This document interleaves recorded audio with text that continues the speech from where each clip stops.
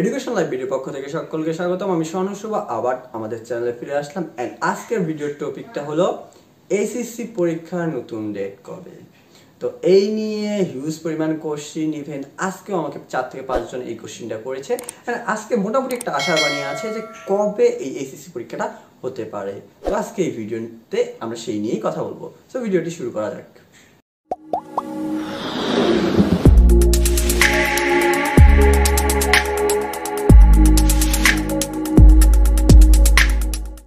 Okay first of all কথা, প্রথম যে কথাটা, সেটি হলো এসএসসি পরীক্ষা কবে হবে এটা টোটালি অনিশ্চিত, অর্থাৎ ধোঁয়াশার মধ্যে আছে। তো কারণটা তোমরা খুব ভালো করে জানো, সেটি হলো করোনা ভাইরাস যতক্ষণ না পর্যন্ত এই করোনা ভাইরাসের প্রাদুর্ভাব কমছে, ততক্ষণ না পর্যন্ত আমাদের এই পরীক্ষাটা হওয়ার পসিবিলিটি খুবই কম। তো এর মাঝে একটা কথা বলে দেই, সেটি কি? যে একটা আশার বাণী আছে যে কবে হতে পারে, সেটা কি?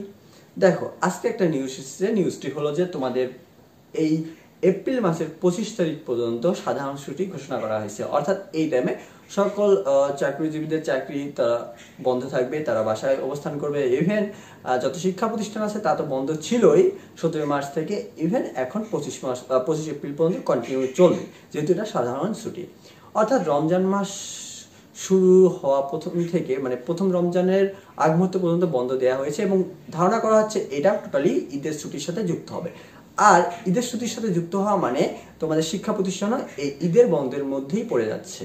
তো সেক্ষেত্রে ঈদের আগে এসএসসি পরীক্ষা হওয়ার কোনো চান্স নেই। অর্থাৎ ঈদের আগে তোমাদের এসএসসি পরীক্ষা হচ্ছে না, এটা কনফার্ম এখন কথা হলো যে ঈদের পরে কবে হতে পারে?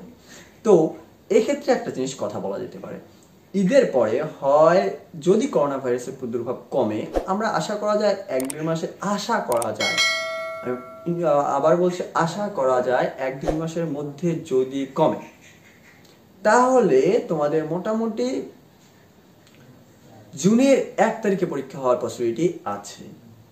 অ্যান্ড আমার যেটা আইডিয়া এক তারিখ থেকে পনেরো তারিখের মধ্যে জুনের তোমাদের পরীক্ষাটা হয়ে যাবে।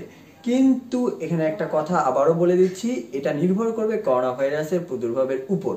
যদি খুব বেশি না ইফেক্ট থাকে অর্থাৎ যেমন চীনে বর্তমান যে অবস্থাটা বর্তমান লকডাউন থেমে দিয়ে আহ, মৃত্যুর হার একদমই নেই। এইরকম যদি পরিস্থিতি হয় তাহলে আশা করা যায় পরীক্ষা জুনের এক তারিখ থেকে পনেরো তারিখের মধ্যে শুরু হবে এবং জুলাইয়ের পনেরো তারিখের মধ্যেই শেষ হবে। আর ভর্তি পরীক্ষা নিয়ে একটা কথা বলে দেই তোমাদের ভর্তি পরীক্ষা অবশ্যই নভেম্বরের মধ্যে হবে যদি সবকিছু ঠিকঠাক থাকে।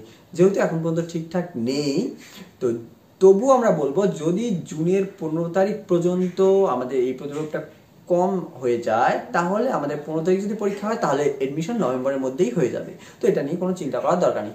তো এখন তোমরা যেটা বিষয়ে ক্লিয়ার হলো, আমি আবার করে দিচ্ছি ক্লিয়ারটা সেটি হলো এইচএসসি পরীক্ষা ঈদের আগে হচ্ছে না হান্ড্রেড পার্সেন্ট তো তোমরা নিশ্চিত দুই মাস টাইম পাচ্ছ, এই এইচএসসি পরীক্ষা আরও ভালোভাবে প্রিপারেশন নেওয়া সো তোমরা মাথায় রাখো, ঈদের পর তোমার পরীক্ষা, তুমি এখন প্রিপারেশন নাও।